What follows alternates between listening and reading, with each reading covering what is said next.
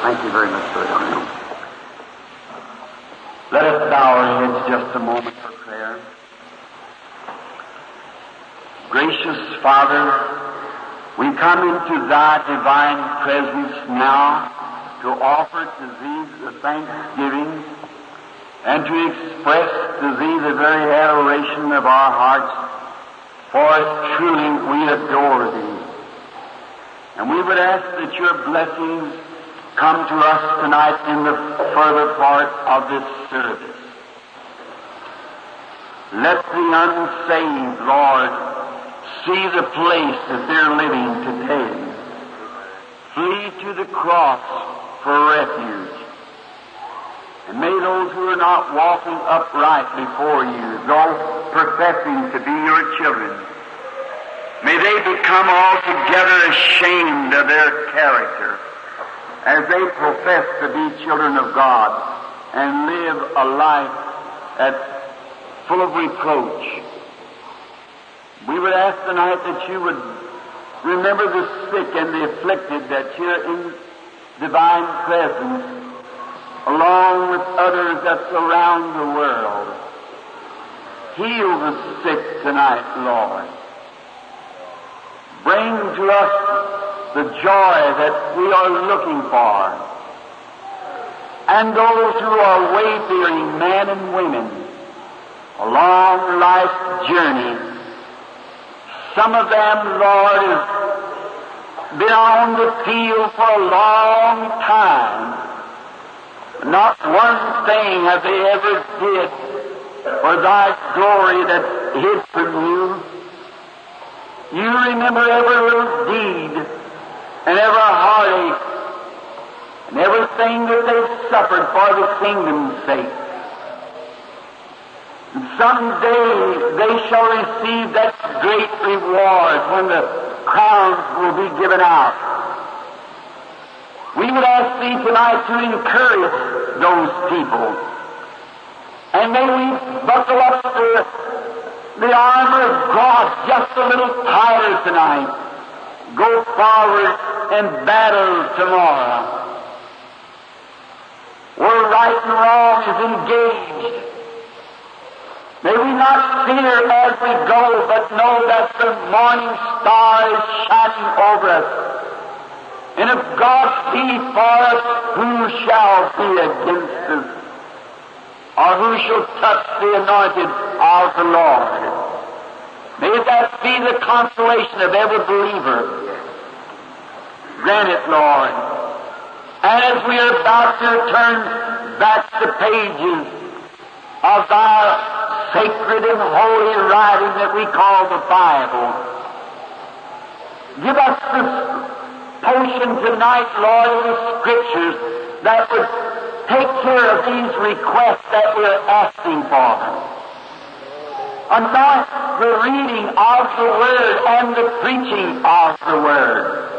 May the Holy Spirit get into the Word and into the preacher and into the audience that we would even forget where we were at, that the Holy Spirit would have us so under control, that God would be magnified, glory would be gotten to His name. Grant these blessings, Father, as we further wait on Thee. In Jesus' blessed, holy name we ask it. Amen.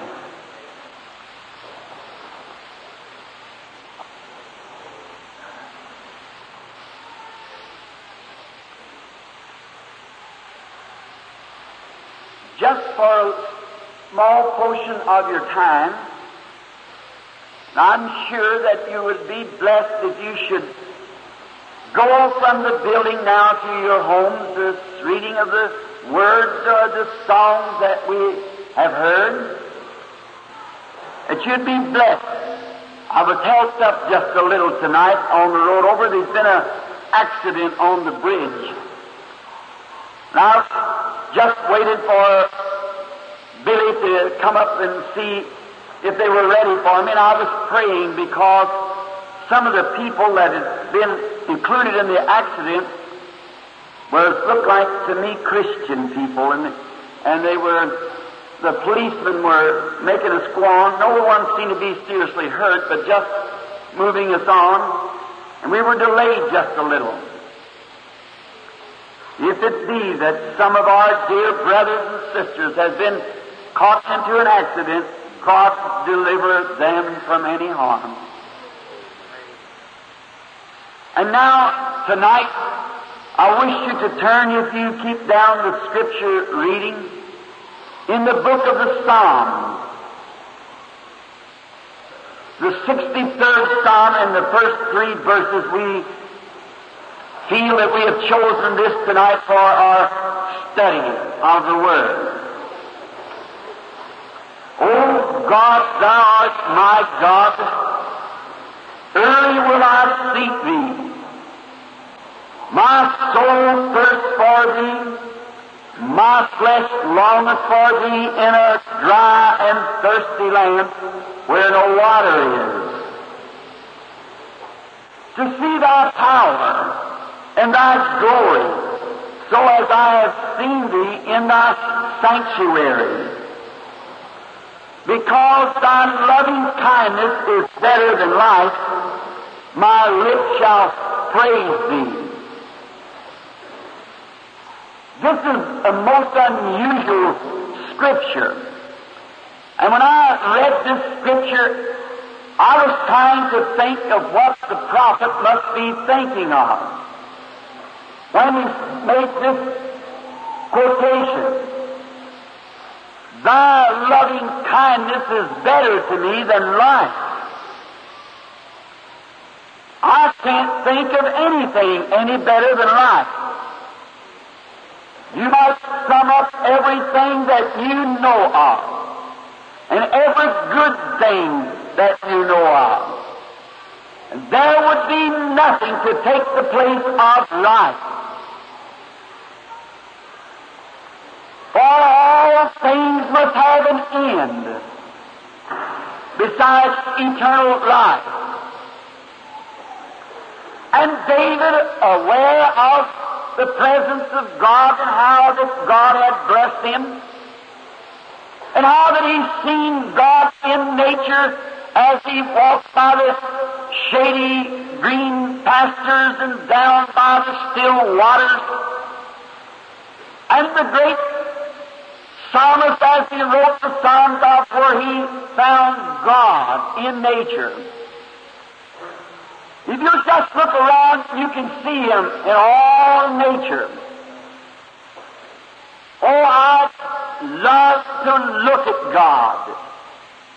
You can see Him if you just look through His eyes. Some time ago, I was herding some cattle way up on the Arapaho Forest, out on Cross Burkett Pass in Colorado. I was up there just resting from the meetings, and I used to do a little ranching up there with another fella. And I, one day while we was on the spring roundup, uh, bringing the cattle in, I was salting the cattle. And I rode after I unpacked the saddle horse, and I walked up to the top of the mountain. I was just looking through my glasses to see where the cattle were getting their positions and places from the top of the mountain, and I saw an unusual sight. I saw an old mother eagle uh, taking her young ones from the nest. And I watched them just a little bit because God spoke in the Bible that he likened his people unto eagles. And how that this old mother eagle, how she got those young ones on her wings. And she'd taken them down into a, a green pasture. And there, after letting her little ones off, she soared way up high to the highest peak that she could find. And she sit down on the rock, turning herself around looking east, west, north, and south to see if there was any danger. You know, you hear so much talking about the hawk. The hawk is no match at all to the eagle. His eyes are 50% better than the hawk. He's much faster. He can kill the hawk in attitude, uh, altitude as he goes up. The hawk can't follow him. The eagle's made up. God likened his prophets to eagles that soar way high, that they can see things far off coming. And as I lay there on my stomach and across the rock watching this big eagle, I studied her as that great big head began to turn and look, those piercing eyes watching all around. I thought, yes, that's right. Them little eaglets was born in a nest. And oh, if you were ever around one of their nests, it smells terrible. And it's made out of sticks and briars and padding with rabbit skin and sheep skin, if she can find it. But when she gets ready to stir up that nest, she throws all of that out and makes it real miserable for her food. And sometimes God does that too when He stirs the nest. He makes it so miserable you don't want to stay any longer. He's stirring up the nest. But then I thought what she did after she let her little ones down in a grassy field. They'd never seen green grass before and the waters rippling by. But she took her perch way high so she could watch over those little fellows. And she wasn't too high, but what the speed of her wings could go within a, a moment's time to their rescue.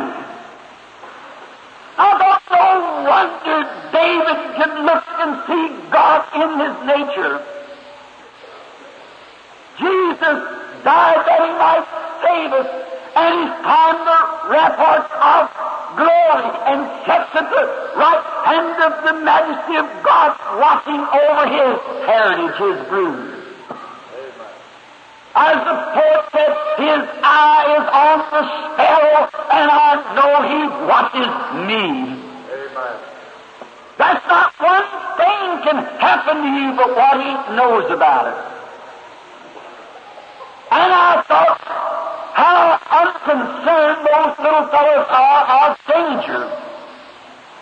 They just got their little wing feathers and they couldn't fly, but they were tumbling over each other and pulling the grass and just having a regular Pentecostal revival. Carefully. Because they knew that mother was watching over them. And how carefree ought the children of God to be when they know that God watches over His heritage. And I looked and my heart beat heavy and I take my red handkerchief to wipe a tear of joy from my eyes as I lay quiet watching them. And by and by, after they had a real good time, there come a storm, let out a roar of the thunder. Quickly the clouds rise. And you have to hurry to shelter when a northerner comes because the rain comes so fast through those valleys across the top of the mountain. It's hid until it comes over the mountain all of a sudden. And she let a great scream out and down to that timber she soared like a mighty big airplane. And when she hit the ground, she let out a great big scream, and all those little eagles come, set their little feet right in her wing feathers, took her little bill and got a good tight hold, and she raised with those mighty wings. And though the wind sweeping down across the top of the mountain at about 60 miles an hour, she drove herself with those little eagles into the rock of safety. Oh, if you just look around, you can see God everywhere. Someday Jesus will come before an atomic bomb can destroy his church. He will come and stretch forth his wings and his children will know his voice, that familiar cry that he gives when he leaves the ramparts of glory and his church will be taken away on the waning of his salvation. No matter how bad the destruction is, he's watching. And when I hear David here say, Thy love kindness is better to me than life, then thinking that nothing could be any better than life, there must be another definition. Or there must be two different kinds of life. And there is two kinds of life. There's life that leads to destruction, and there's life that leads to everlasting. And this life that people think that's life, the devil has perverted the real, genuine life and making you think that you're really living when you're not. He tries to make you think that to have plenty of good clothes, to own a nice automobile, have the taxes paid up on your place, you're living. But you're not. That's where America is deceived today. And some people think because they're having life, they're out loud reveling around. That's not life, that's death. Some time ago in a large Canadian city, I was holding a meeting. And when I'd come from the, the great arena with a lovely meeting that night, I was in this great hotel. I don't know if it had anything like it in the States. And I was going up on the elevator. And I noticed whiskey bottles laying in the elevator. And also that afternoon there'd been a great bunch of Americans come up there. An organization, a society, a lodge was having their annual get-together. There was about five or six hundred Americans there. And they were really having a time. When I got off of the elevator, all down each floor when you would pass, you would hear the howling and the screaming and the dancing. And they thought they were having a good time. But that kind of life lives to a place to where man wants to get rid of that type of life. They take a pistol and blow their brains out. So David couldn't have been speaking about that kind of life. It gets so visible until people jump off of bridges. They take poison to end that life. So David could not have been speaking of that type of life. And when my elevator stopped, I heard a noise down along the hall, and I looked, and here come two American women just with their underneath clothes on.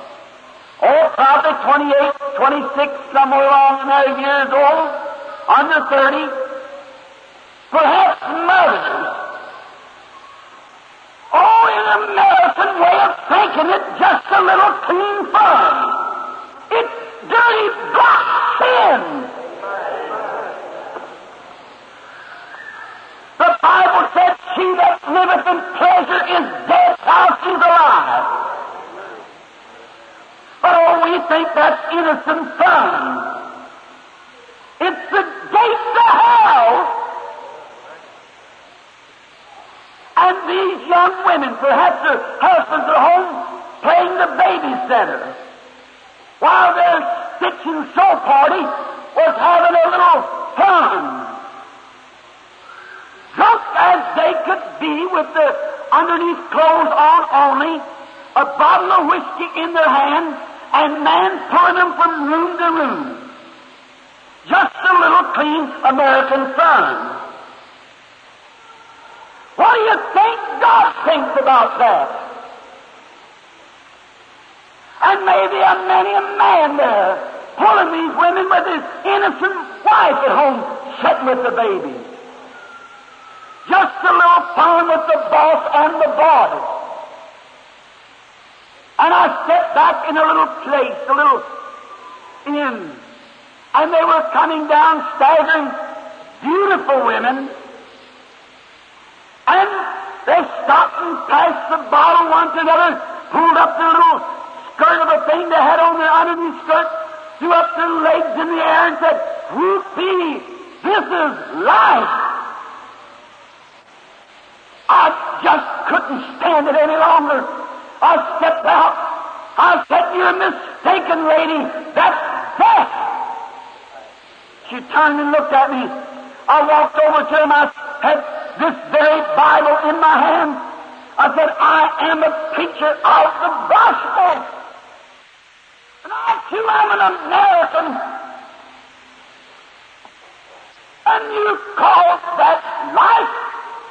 You are deceived, and the devil has deceived you.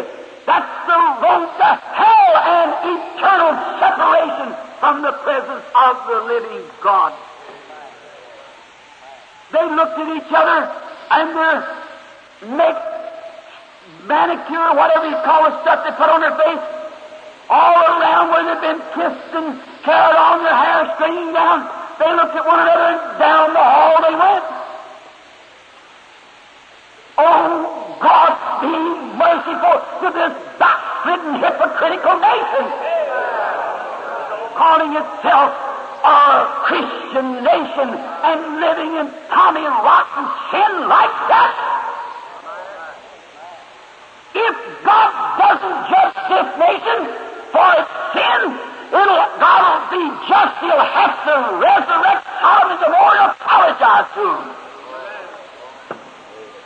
We are bound for judgment. Amen. No one wonder Sputniks are sailing the sky and the nations are fearing. We're at the end time. God be merciful. Christ said if the word wasn't cut short for the elect, there'd even be no flesh saved. Oh, what a miserable thing it is.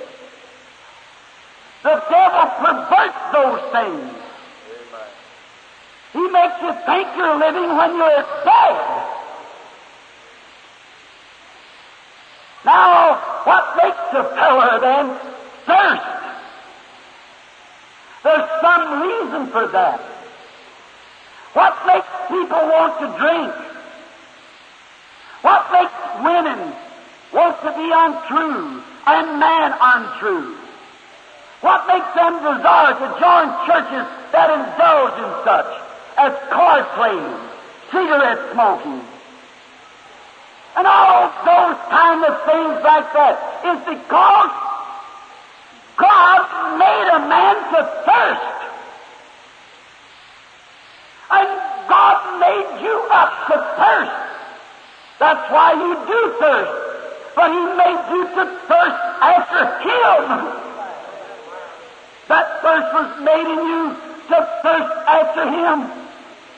But the devil has perverted it and trying to make you be satisfied with trying to quit that blessed holy thing with sin. You have no right to try to quit that blessed holy thirst with drinking and waiting in sin. You remember that. God made you to thirst after Him in righteousness and the devil turns it around. Oh, there's many things he tries to quench it with. That's the reason you people don't go to church on Wednesday night no more. You'd rather stay home and look at some old dirty television. We love Susie.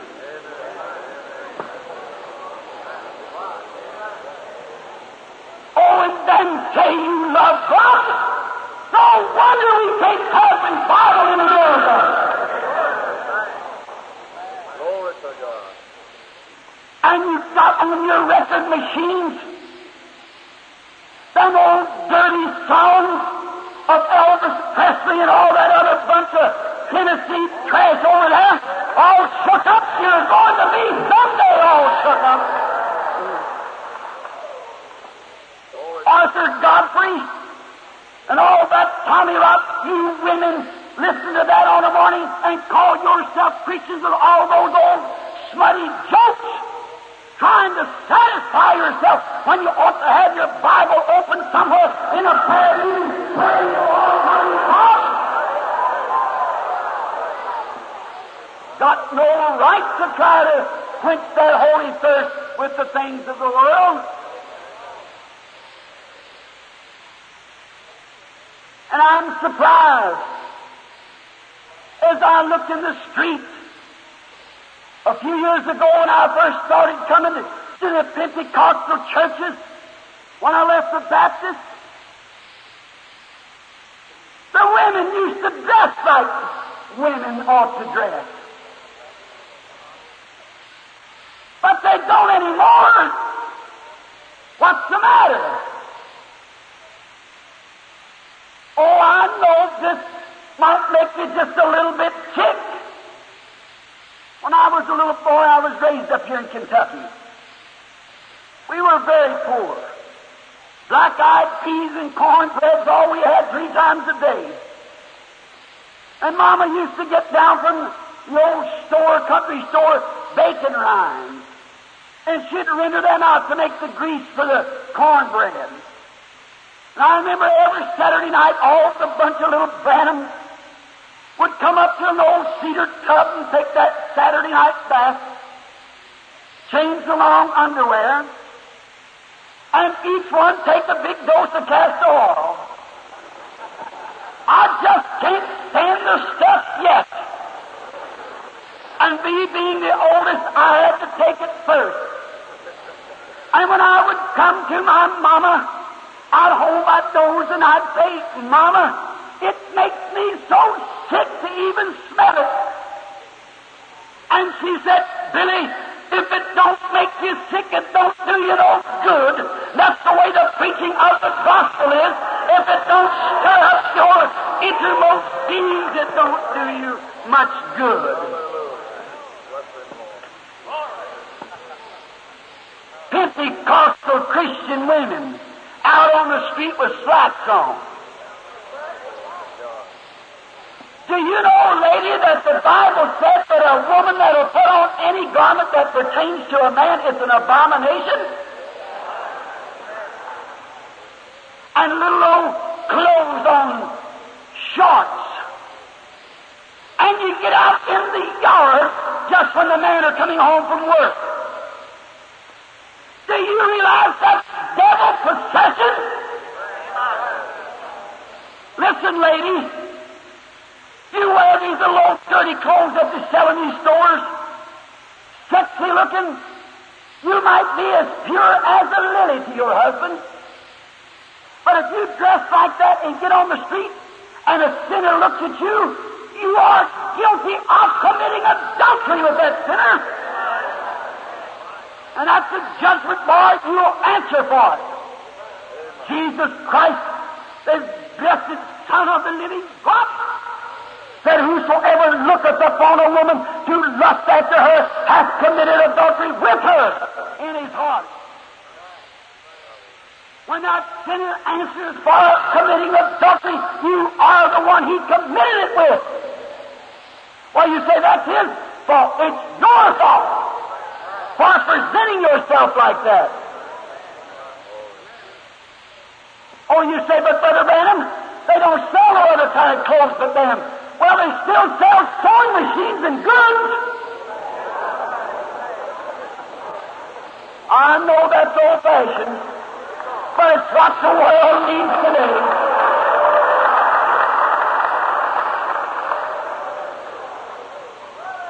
God hates sin, but He loves the sinner. People just can't take it. That's all. You say, what about the man? All right, here you are. A man that'll let his wife dress like that and smoke cigarettes, it shows how much man you are. That's exactly what it is.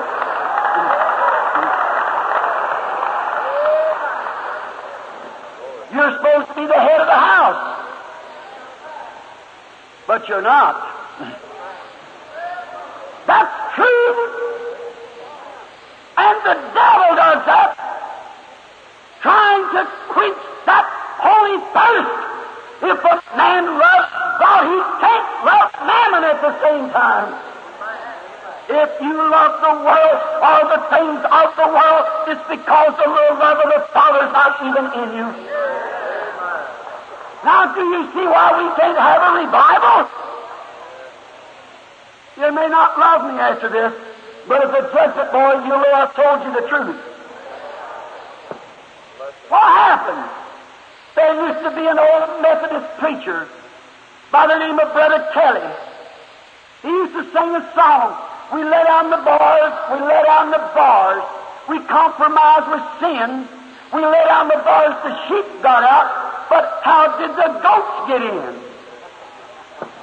You let down the bars. That's exactly right. Compromising with sin. Oh, God, be merciful. You know what the Bible said? Christ is your satisfying potion to every believer.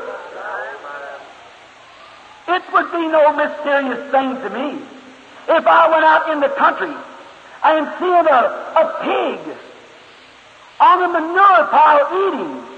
That's his nature. But I'd sure be surprised if I saw a lamb eating with him. Right? The Spirit in you bears record what you are. By their fruits you shall know them. Pentecost, we need a feeding up from the pulpit to all the way to the basement. That's for you Baptists too. Methodist, Presbyterian, a whole bunch of you. We need a house cleaning. God's holy fire. You got the fire in the basement when it ought to be on the altar and in every heart, not in the basement. We've changed the upper room to a supper room. They get enough money to pay the preacher.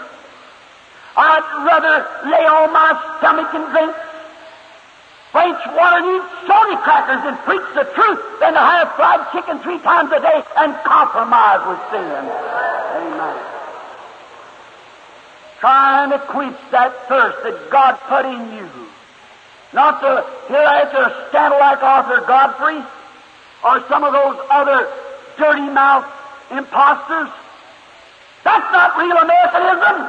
That's hellishism.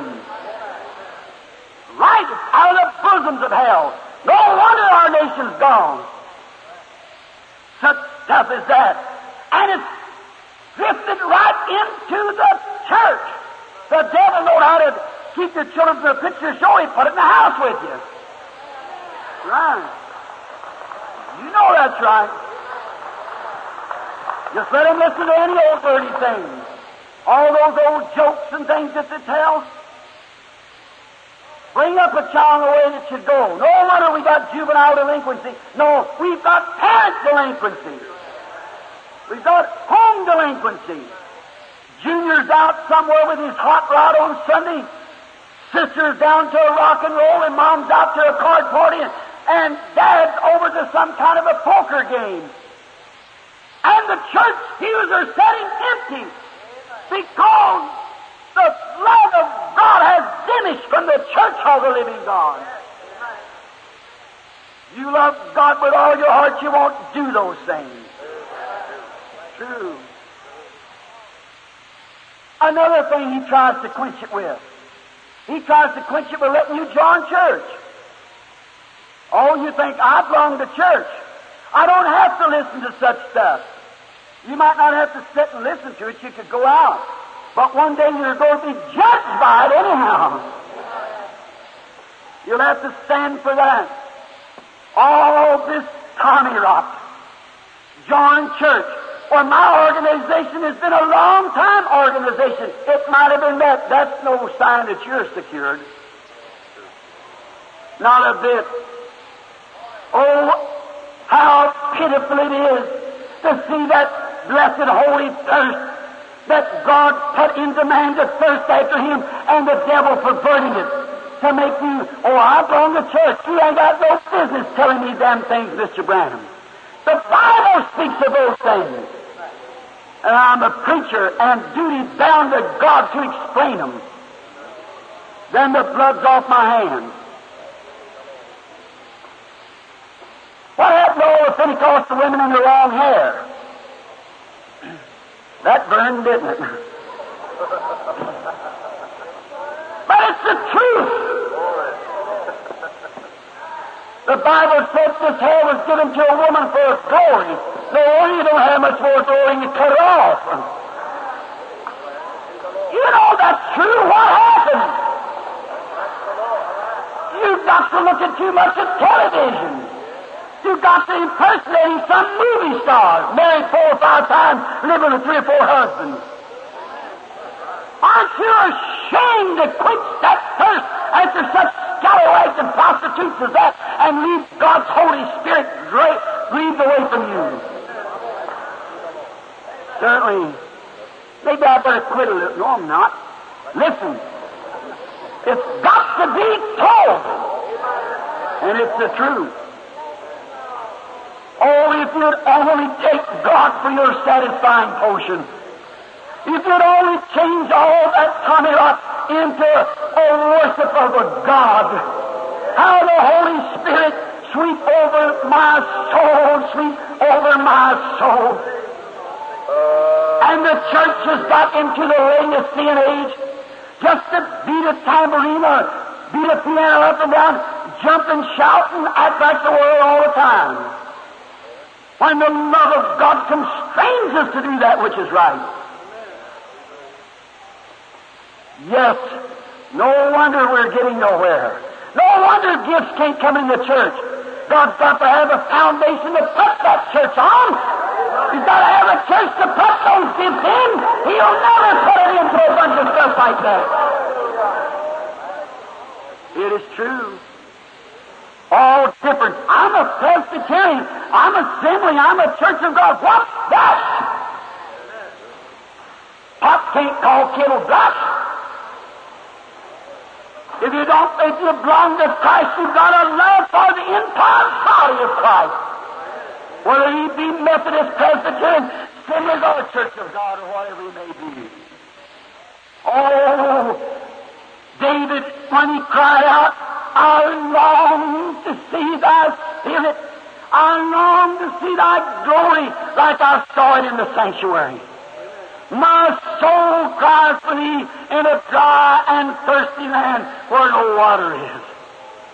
How that prophet saw this day. David over in Psalm 42 1, he said, As the hart painteth after the water brook, so my soul thirsts after thee, O God. Him being a woodsman, David was acquainted with nature. And the hart is a deer. Now I've seen it many times, being a hunter myself. They have a wild dog in Africa, and in America it's the wolf. And this wolf is a sneaker. And when he gets to a place, he sees the hart, the deer. He slips up just as cunning as he can, keeping himself disguised. And that's the way sin does. Innocent. And when he gets a good shot at his prey, he runs to make the jump, and he's got two things. They're called blood things. And he, his favorite place to grab the little deer is just behind the burr of the ear. He sinks his teeth deeply. The jugular vein comes up the side, runs to his heart. And the wild dog grabs this deer and sinks his teeth into it and then swings his weight in front of the deer.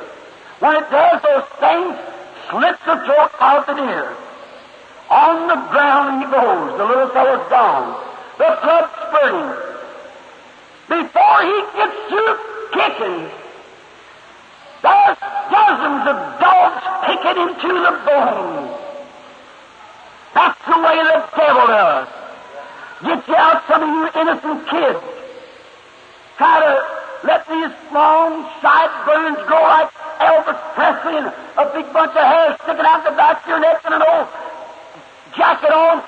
God bless that man at that school not long ago that said, I'll close this school or you'll go home and come back dressed like gentlemen. Amen. When they dress like that, they act like that. That's trash out the street. And it isn't becoming even to a good citizen, let alone a Christian. And some of you little girls get out on the street and one those wild dogs give a whistle at you and you got yourself all poured into a bunch of scandal, dirty clothes. And your mammy home may be praying for you.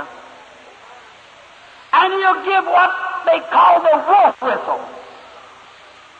And you turn around, those little lips all painted up in tee look around.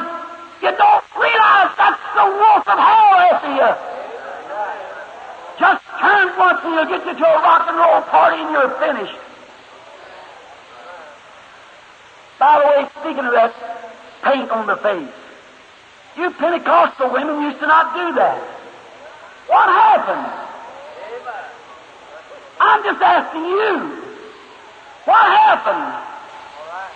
You did run well. What hindered you? Did your pulpit get weak? Then put him out get a pastor to preach the truth. If your denomination let it let you down, get to another denomination. Certainly. Listen, sister. I don't mean to hurt you. I just come back from Africa. And in the heathen land, if that is a heathen trait, the Hottentots of Africa, that's where painting come from. Heathens. It's a sign of heathenism. And it's condemned by God. A pretty face ain't what God looks for. It's a pretty soul that He looks for. And listen, there was one woman in the Bible who painted her face. And her name was Jezebel. And God set her to the dogs. So you can see what a painted face woman is in the sight of God. It's dog meat. Now that's right. I don't say that for a joke. That's truth. You can just figure God's got some dog bait going there. And the wolf of hell, you're baiting yourself so they whistle at you. Pick your to you're no more than a street harlot. Though you could live just as clean to your husband as you could be, you'll answer for committing adultery at the day of judgment. And you sons of God, let your wives do such a thing as that. Shame on you! I don't think there's much man in you. Man's not measured by a big pair of wide shoulders. That's brute. Man's measured by character. I've seen men that weigh 200 pounds and muscles like one of these mules out here and had no more man about him than to throw a baby out of mother's arms and ravish her. That's brute. Man is character. God help us. That's first and here for God and not for the world. God be merciful. Then if this little deer is quick and the wolf grabs her, if he can't get by the ear and drag her in somewhere, he'll get her to fixing up and dressing herself. And the other hold on the wolf is to grab the little deer in the flank. If he misses the throat, the jugular vein, the quick kill, a cigarette or drink of whiskey, or rock and roll, He'll grab her by the flank. And then he throws himself. And that's the balance part of the deer. The hind quarters are heavier than the front quarters, so he can throw the deer. He's got her balanced. Now if the little deer's quick, comes to herself, what happens? She can throw herself in such a way that the wolf will jerk a whole mouthful out of her flank. That's what David was talking about. Away she goes. Then she's all bleeding, wounded. She's been to a revival. And she comes wounded. And any hunter knows that if you wound a deer, and if he can get to water, you'll never get him. He'll run right straight to water. I've watched him many times. He'll drink, then run up and try to get away from the dog, come back, and he'll never leave that stream. As long as he can find water, he'll live.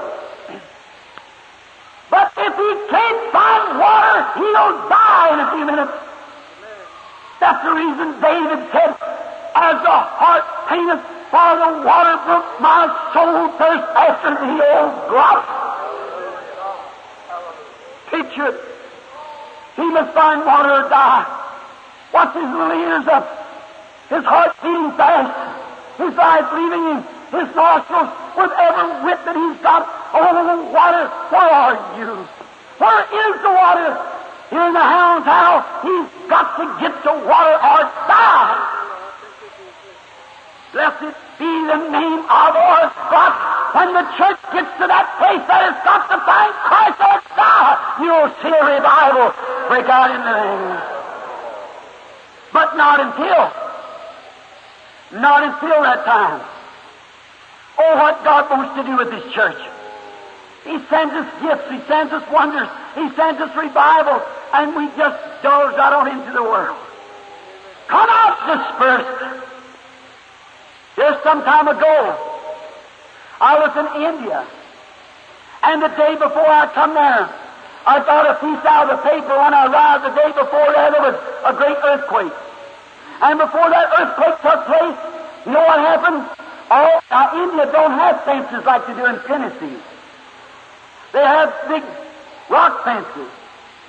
And all the cattle and the sheep got away from those big fences and went out in the middle of the field, right in the heat of the day, and stood there. All the little birds that had their nests in the little coves in those fences and all those great big high walls, they left their nests and went out into the forest and sat in the trees. What did it? And they stayed there until the earthquake was over. If not, they would have perished along those walls and those big towers. And brother, sister, let me say now, if God could give instinct to a bird to get away from danger to come, surely He could give it to man. Danger's at hand. Get away from these great, big old, cold, formal, starchy things. That's of the world. Get out and flee to the center of God's salvation, Jesus Christ, the Son of the living God, and there plead for mercy. For destruction is at hand. When you see revivals and things going on like is going on now, just remember destruction comes. Jesus said himself, and that day when the Son of Man reveals himself from heaven, he's revealing himself now in mercy to his church. The next revealing will be in judgment on those who rejected him. My soul thirsts after thee, O God. I long to see thy power like I have seen it in thy sanctuary. The real true servant of God is hungering and thirsting for God. The first move of the Spirit, their soul jumps to it.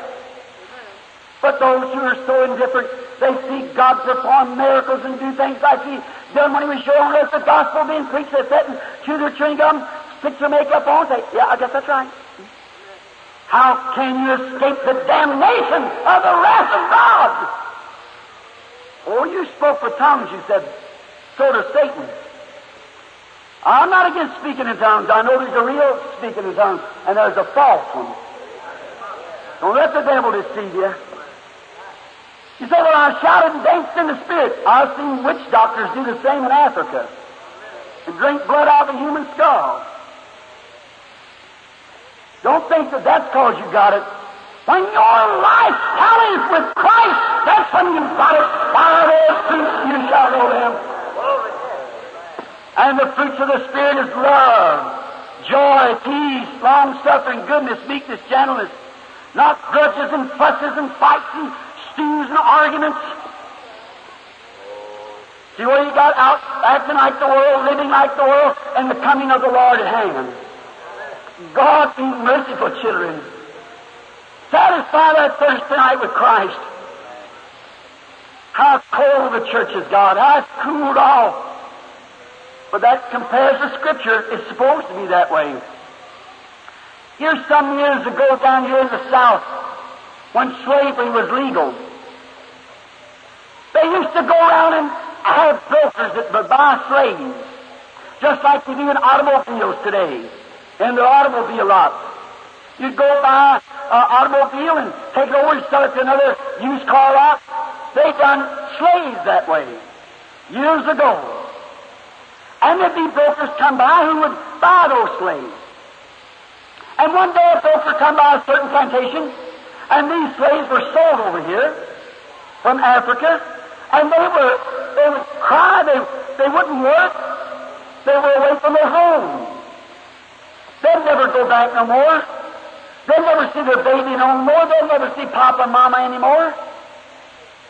They were plumb across the sea here in an old wooden ship. They'll never go to the homelands again. So the owners would have to scold them or whip them and make them work. And one day this buyer come by. He said, I'd like to look your slaves over. He said, look them over. And he noticed the different ones, great sturdy ones and some small ones and so forth. How did someone out there making them work? And they had one certain young man there. You didn't have to make him work. Shoulders up, chin up, yes sir. Anything you want done, you do it. You didn't have to whip him. You right at it and do it. The slave buyer said, I want to buy that slave. And the owner said, but he's not for sale. He said, I've never seen quite a slave as many as I bought. Never seen one act like that before. Said, do you ever have to scold him? Said, no, sir. He's always up. He's the best slave I ever owned. He said, I tell you what you've done. You've made him a boss over the rest of them. He said, no, sir. He's a slave just like the rest of them. Said, well, then perhaps you feed him a little better than you feed the rest of them. Said, no, he eats out in the galley with the rest of the slaves, just like they all do. He said, well, what makes him so much different than the other ones? He said, I often wondered that myself. Until one day I found out that over in the homeland where they come from, he's the son of the king.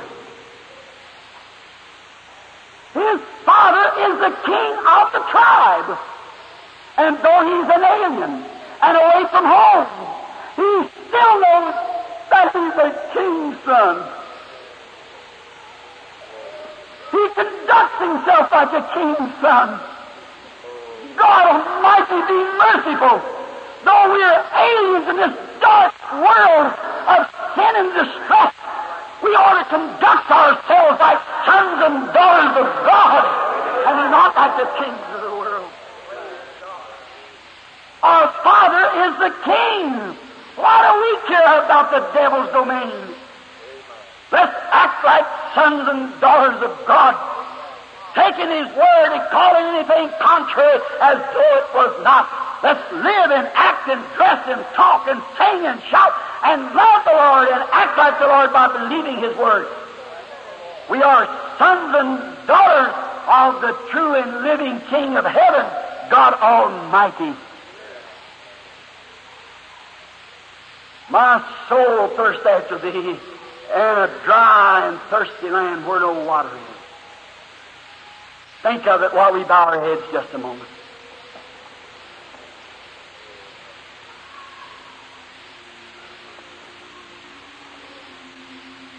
Listen Christian, woman, man, since you have come to Christ, are you conducting yourself as a Christian should? Or you got yourself off in some little denomination saying, me and my little group, we believe it this way. We'll have nothing to do with that, or there's nothing to do with this or that. Oh, may God speak to your soul tonight. What can we do? The hour is coming when you're going to beg for this, and you're not going to find it. Sinner friend away from God little woman, little man, do you realize that you're trying to quench that thirst that God gives to you, the thirst after Him, and you're quenching it with the devil's pleasures? Moses forsook Egypt to be Pharaoh of Egypt, esteeming the approach of Christ greater riches than the treasures of Egypt. For he endured is seeing him who is invisible. Take off them clothes, lady. Put you on some decent looking things. Let your hair grow out and wash your face. You man get to be man. Walk out a pack of cigarettes in your pocket and a deacon on the board. Cigar. Taking a little sociable drink. Staying home and watching television. Washing your car on Sunday instead of staying at Sunday school. Aren't you ashamed?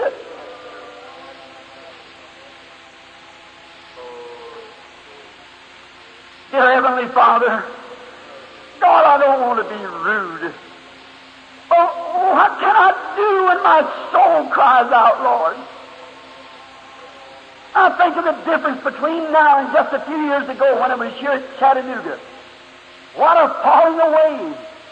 What a difference. And my spirit grieves.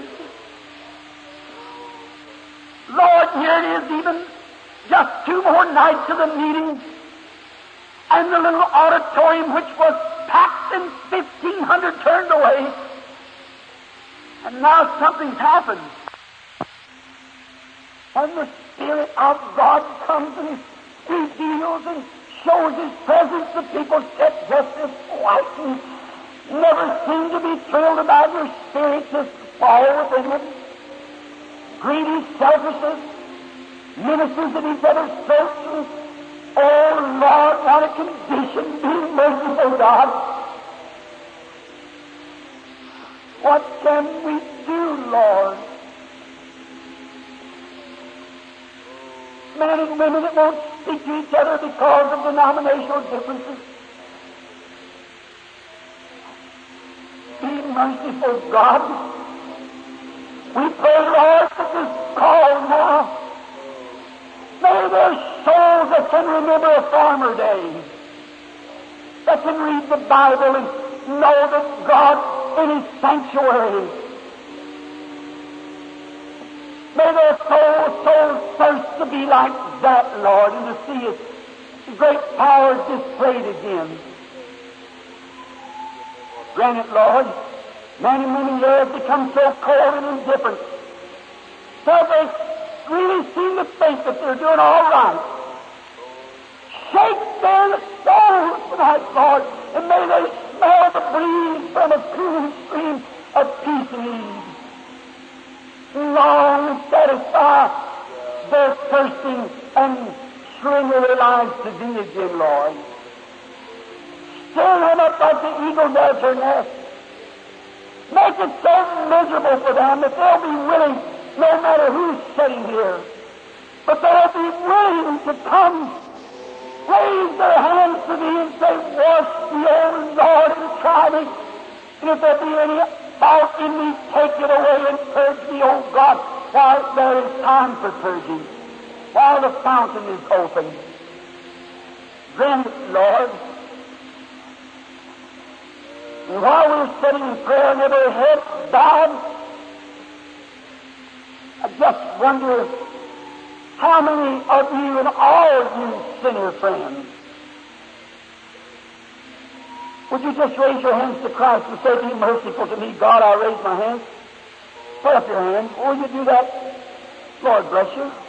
God bless you. Up in the balconies to my right. Put up the hand up there, sinner friend. Say, I now will resign from sin. I accept Christ. I'm finished with sin. The balconies to the rear. Balconies to the left. Raise your hands. God bless you. Anyone on the sinner floors here? Raise your hands Say, be merciful to me. God, I, I, God bless you, sir. God bless you. I now see my mistake. I've tried to go to pools, Brother Branham. I've tried everything. I've joined church. I've done everything and nothing satisfied. I want to come to that place where I can have Christ as my satisfying portion. And He'll witness the same back to me by filling me with His Spirit. I now accept Him. I'm wanting to do it tonight. Another hand or two before we go further. God bless you, sir. Someone else. God bless you. God bless you, lady. Another. Be merciful to me, oh God, you say. Anywhere in the building. Before we close, God bless you, lady. Another, just before closing now. I'm going to ask for you backsliders. That knows that you've done wrong. Aren't you ashamed out there believing you're going to die? Is there something in you that's the weakest little voice speaking somewhere saying, Come to me, child? You can't die in this condition. If you do, you know you're doomed. Will you raise your hands and say, God, I'm not raising my hands to you saying, Be merciful to me. I want to come back home, God, from the night on. I want to be satisfied and have that good feeling that I used to have and that real worship and fellowship where I just love to read the Bible and go to church and sing the old songs. I want to have that again. Would you just raise your hand? God bless you, sir. It takes a real man to do that, brother. But I've got confidence in a man that has made a mistake and willing to confess that he's wrong. Now to you bunch of Christians, you women and men, let's try to satisfy that holy thirst with things of the world. If you've got any real Christian principle and you're guilty, will you raise your hands to God and say, God, be merciful to me from the night on, I'm changing my ways. Raise your hands. God bless you. That's the way. That's the way to do it. Amen. The balcony to the right. Raise your hand. Come on, Christian. God bless you up there. That's right, man. I've got real, real confidence in you. The balcony to the rear. God bless you. That's good. Balcony to the left. Raise your hand say, from now on, God bless you. God spoke my heart. God bless you. That's right. Dozens of hands everywhere. I'm ashamed of my life. I've acted wrong. I know I'm wrong, but Branham, I oughtn't to have done that. How many years never had the Holy Spirit? And you want the Holy Spirit to come to you now and to bless you and to give you, you've been up and down, up and down. Look like you, you're never on the housetop but just a few hours at a time, and then the next day you're down in the dumps, as we call it. Then you'll, you'll never see me keep the victory that this halfway life. God don't want you to be like that. He wants you to be full of His grace and power all the time. God's got it for you. You want to accept it by just raising your hand saying, God, you see my hand. Man, God bless you. God bless you. Yes, yes, yes, all around. Put up your hand and see how it feels. See, meet it from your heart. God bless you. That's right. God bless you. All around the balconies, I'm looking at you. But certainly God sees you if I don't. God bless you, sir. That's good. Oh, bless your heart. That's what Chattanooga needs, is what the rest of the world needs. It's a revival.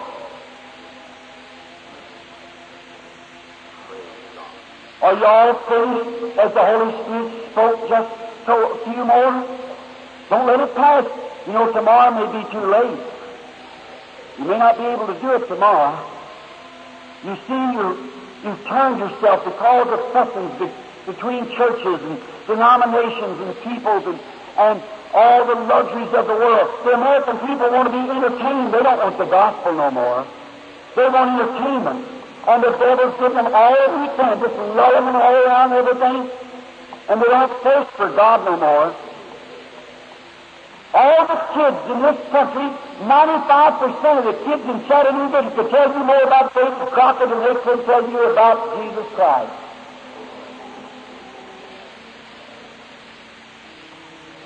Ninety-five percent of the women can tell you more about Arthur Godfrey or Elvis Presley than they could about Jesus Christ. Think of it. Think of it. Can't you see it gone? Please, Christian, there's the fountain open. Water is near. Life is near. Please it quickly. Drink, drink, drink, please, drink, drink no more. God will satisfy that thirst.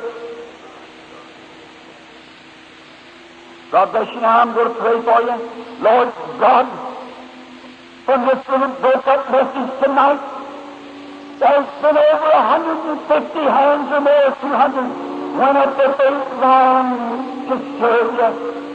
Many backsliders, many that's living in sin, and they don't want to live that way no more. They want to come to the fountain tonight.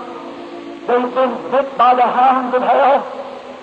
They've been tossed about with every wind of doctrine. But they want to come to Christ tonight through the satisfying potion that God gave them.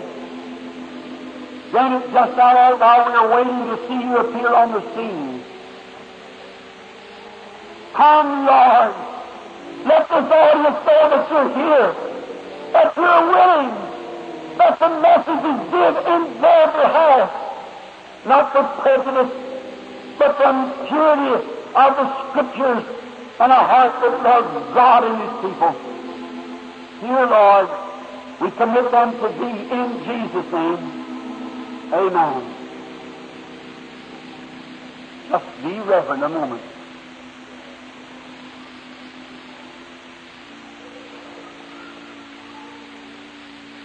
Don't be angry with me for preaching straight and clean. You might differ with me, but read your Bible. The message of divine healing is wonderful. But divine healing is just something to get your attention attracted. If you are healed divine healing, you make it sick again. Lazarus was raised from the dead and died again. A doctor can heal you with pneumonia by giving you penicillin or kill the germs in you. And tomorrow pronounce you sound and well. And Monday you can die with pneumonia again. Certainly. But if you're saved, that's different. You've got eternal life, everlasting life. You haven't got everlasting health, but you've got everlasting life. Accept it tonight, friends.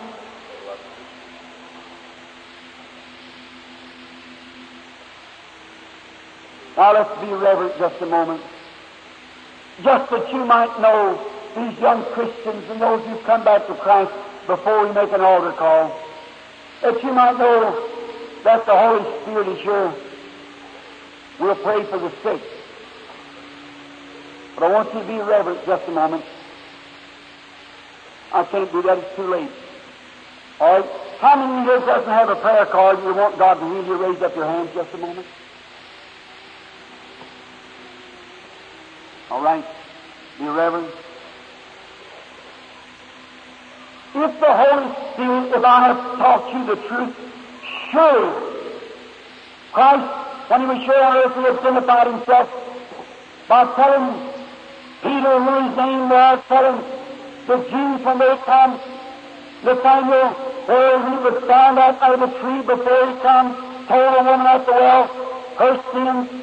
And each one time that he did that, they recognized it to be the Messiah. Is that right? How many know that's the truth? But you'll never find a scripture where he did it in front of the Gentiles. He said, Don't you go to the Gentiles, for their days are not full yet. Their things have not heaped up yet. They've got a day of grace. That's this day. And when he did it before them, they said, He's a fortune teller, Beelzebub. Jesus said, Say that about me. Who said that? Great religious leaders, holy and renowned man. Jesus said, Your father, you and your father the devil. But he said, You speak that against me, I'll forgive you. When the Holy Ghost comes and does the same thing, in other words, one word against it will never be forgiven in this world or the world to come. I may never see you again, but perhaps it's my last time in Chattanooga. We're too close to the end. I'm going overseas. One miracle that's performed in this meeting, one miracle that takes place of discernment. I've seen one time it happened, and 30,000 raw heathens accepted Christ. I made one prayer, and 25,000 got to their feet, crippled, lame, and blind, and was healed.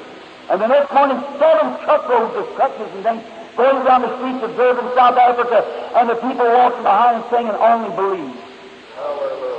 Oh, because we belong to the certain churches, we know better than that. Go ahead. That's the way, just go ahead. God's obligated to tell you, but you're obligated to what you say about it and do about it. If Christ the Son of God, which I know is present now, if His Spirit, how many's been in meetings before and seen Him do it? Let's see your hands all over the building anywhere. If Christ the Son of God, He promised the things that He did, we'll do also. The woman touched His garment. And he turned around and said, Who touched me? He didn't know. He wouldn't have said that if he did know. And they rebuked him and said, All's touching him. He looked till he found who it was, and he told her what her troubles was, and she was healed. How many knows that's the truth? Sure. The Bible said he's the high priest that can be touched by the feeling of our infirmities right now. Then if he's present. And if that part of the Bible is true, the rest of it's true.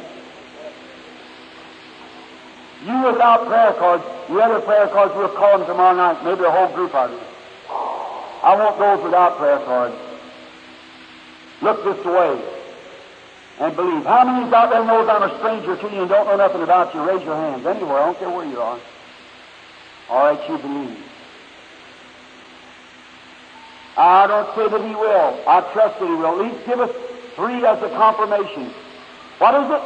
I just yield myself to the Holy Spirit. Your faith touches Christ. Christ turns back and just uses my voice to speak to you. He said, I am the vine, ye are the branches.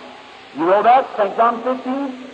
Then the branch bears the fruit, not the vine. The vine just gives the life to the, to the branch. And if it's a pumpkin vine, it'll give pumpkins. If it's a watermelon, it gives watermelon. If it's grapes, it gives grapes. If it's Christ, it brings forth Christ. If it's some stiff, starchy theology like they had back there, that's what it'll bring forth. But if it's Christ, it brings Christ. Do you believe with all your heart?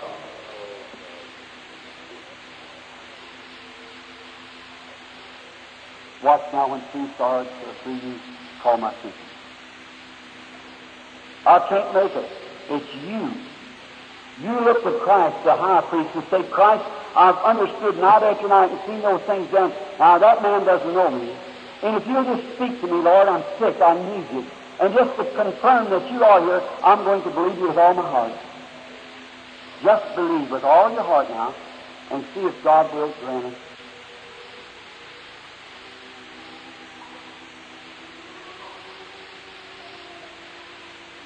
Here's a lady sitting looking at me right back here. Just moved her head back and forth just a moment ago. Yes, ma'am, you moved your head down. You got a prayer card? You haven't. If God will reveal to me what your trouble is, will you believe God, you're sick.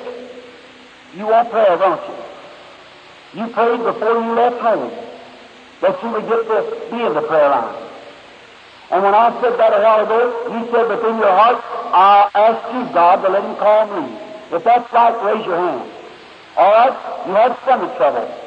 If that's right, stand on your feet. You, you have no prayer card. We've never met one another in life. We don't know one another. If that's right, raise your hand. All right? You can go home now. You're healed. I just ask you to believe God. What about some of the rest of you people through here? Will you believe? If thou canst believe, all things are possible.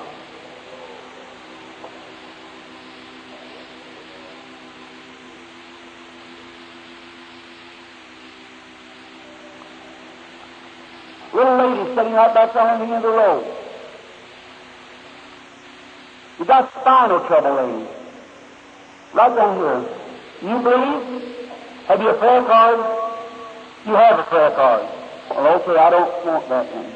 Your prayer card. Well, you've already been healed anyhow, so you just go ahead.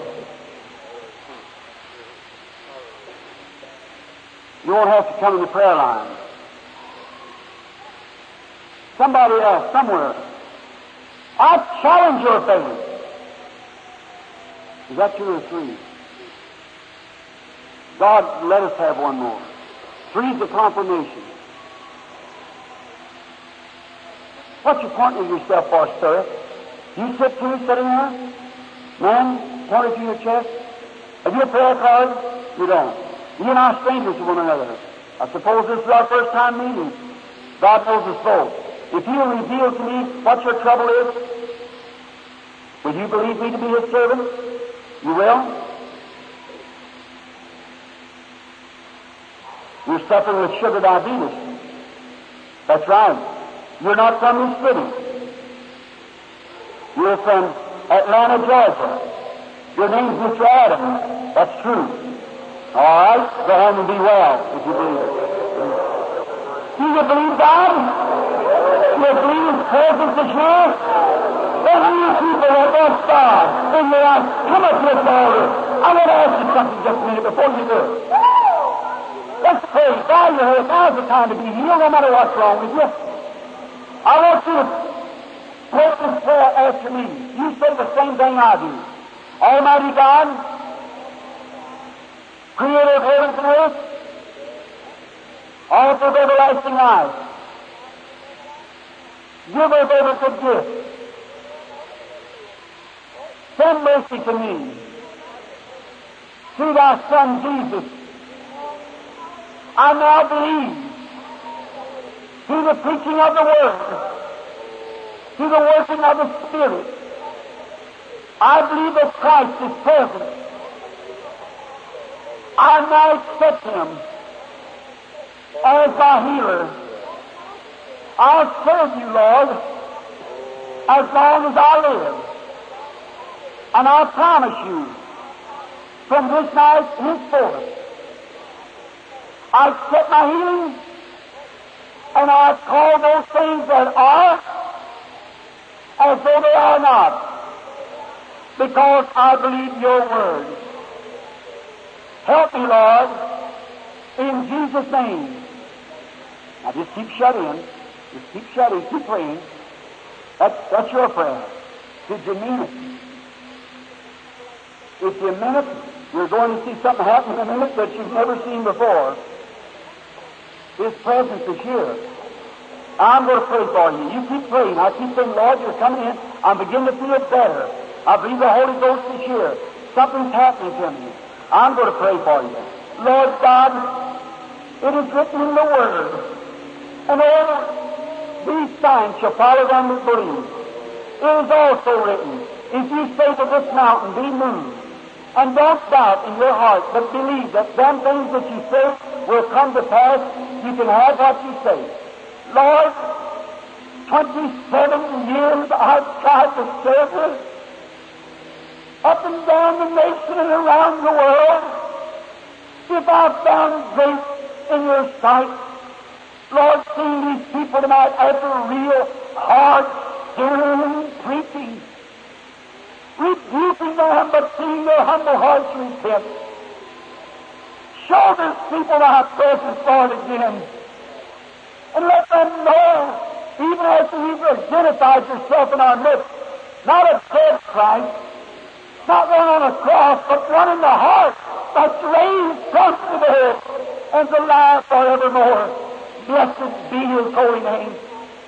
I ask you to heal every person that's in the divine presence. And I challenge the devil in Jesus' name, who cannot defy the Word of God. For the word of God has defeated you, Satan, and you are stripped of every right that you ever had. When Jesus died at Calvary, He gave us the keys to the kingdom, and you have no legal right in our bodies any longer, and we adjure thee. In the name of Jesus Christ, leave every sick person here, and every crippled person, every blind person, every deaf person, every lame person, every sick person, everyone, leave in Jesus' name I ask you to go. Stay shut These I hope that I found grace in your heart. Keep your head down, keep reading. I am your brother, and I'm telling you the truth. Christ, the Son of the living God, is in this building. There is a light hangs near. Beneath it is a little darkness. That's just a little suspicion little superstition. Or anything to just having set our faith. Touch that garment that's hanging so close to you. Do it right now. You confess that you would. Believe it. And I want the first person that was deaf, dumb, blind, or crippled, that couldn't move a hand, maybe you couldn't move your hand, I want you to start moving it. You couldn't see out of one eye or an eye, Look, see, you can see now. Couldn't hear out of one ear? Put your finger in your good ear. Listen. The first one of you that feels that God has healed you, I want you to come with platform and testify and tell the others.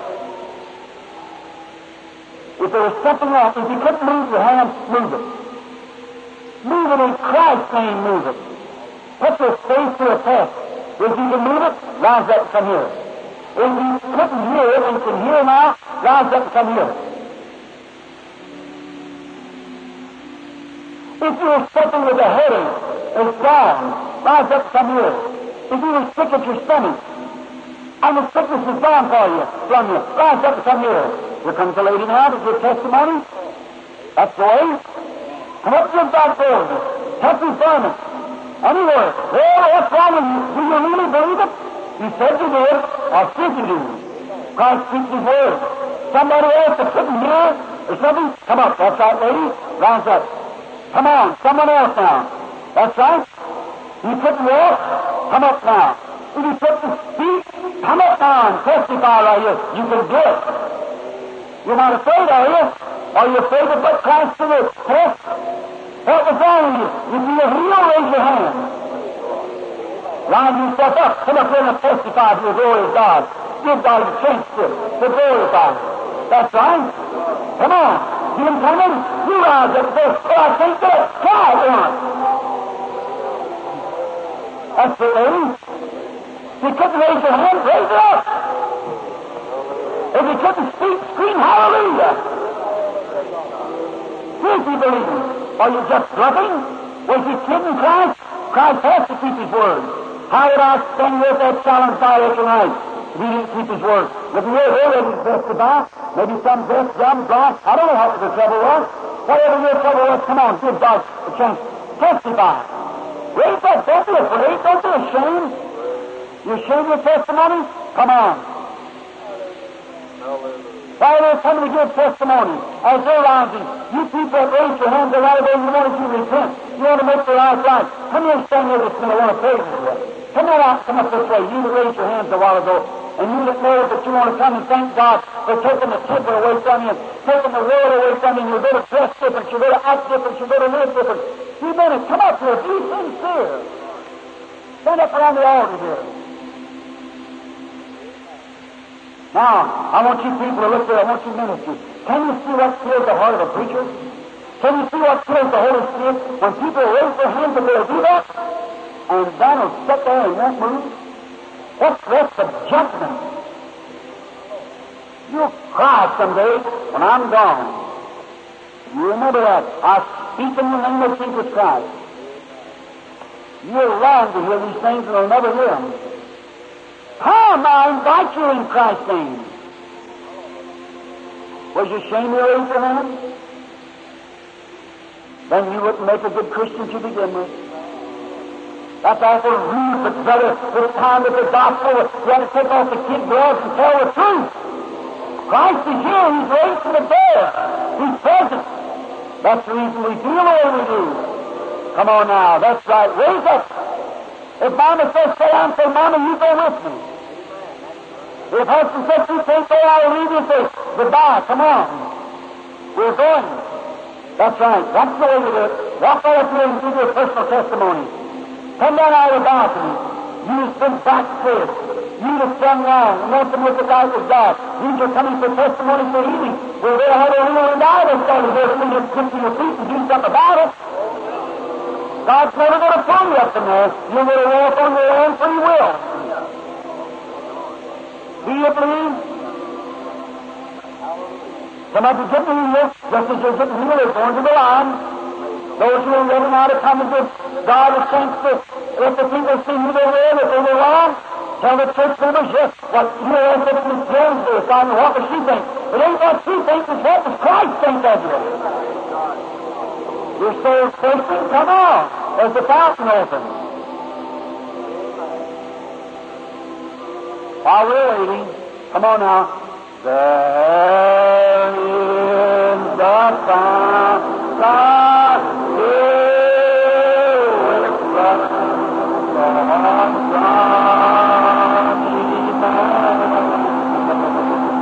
Once you find out, don't leave. Stay still going to see something.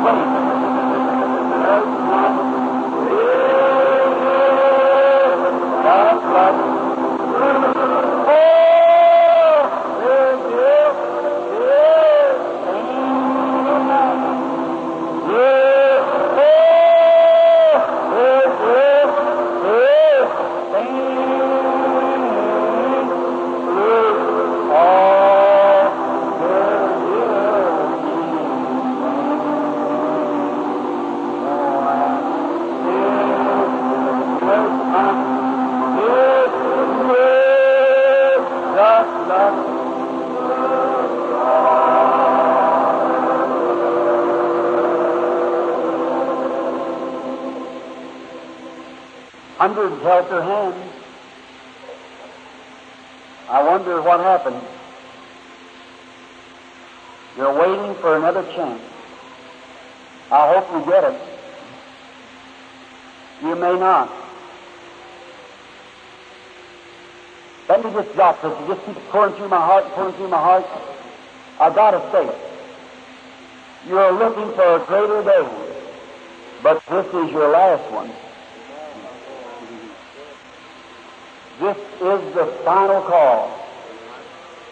Now you write that down in a book and see if you ever see things happen any greater than you see happen now. Just remember, you're trying to place it off somewhere else. You Gentiles had a short revival at the end. It's just about over.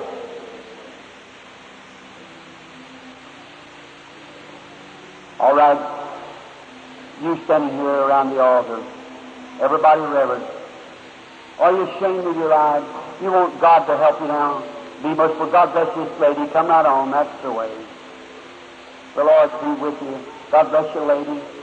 That's right. Come right on up. Just take your stand. He that will confess me before man, him will I confess before the Father and the holy angels. If you're ashamed of your lives and you want God to help you, will you just raise up your hands to me around the altar here? That's right. Be a real man and woman. And all your sins be as scarlet, they shall be white as snow. Look at the testimonies of healing. Just keep, they just keep feeling the power of God moving through them.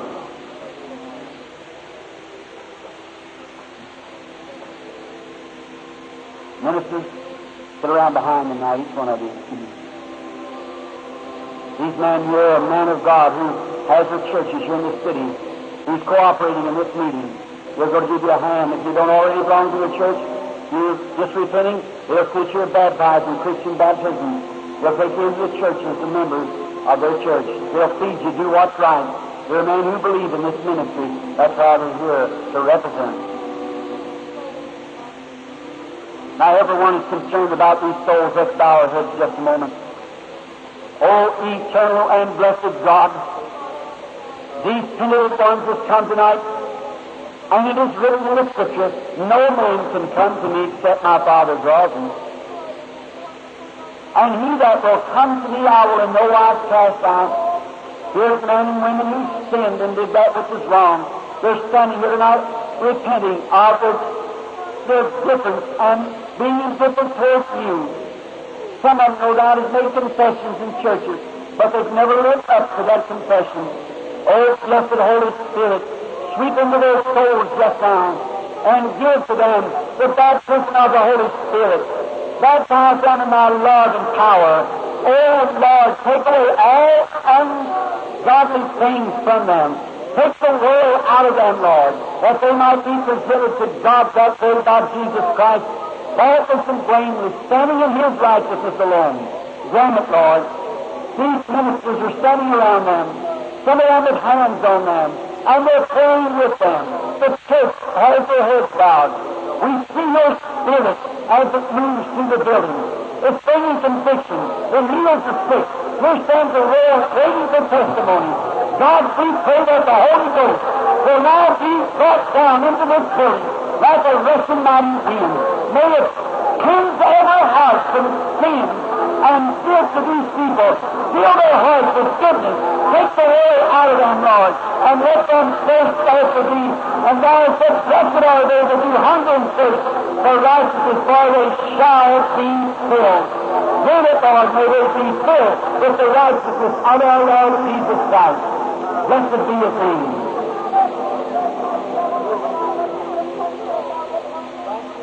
Each one of you standing here now that's repented of your sins, and you believe with all your heart that Jesus Christ has come to you in peace and love, and you feel different than what you did when you come up here when you had word of prayer. Will you raise your hand?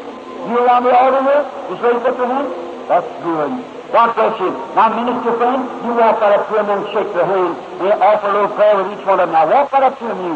Each one. Right up to them. All right? Let the lady down here with me, sir. Brother Baylor, come here. I want these hear these testimonies now as they come. While these are making yourself welcome to their churches and so forth. All right, lady, come out ahead now to testify to give God glory.